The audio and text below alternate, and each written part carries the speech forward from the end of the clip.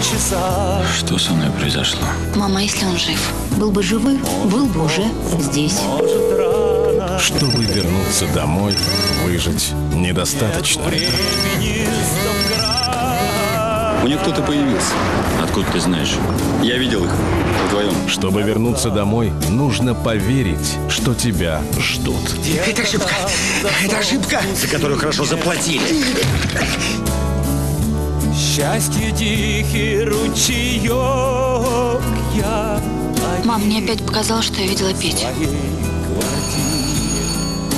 Обратный путь.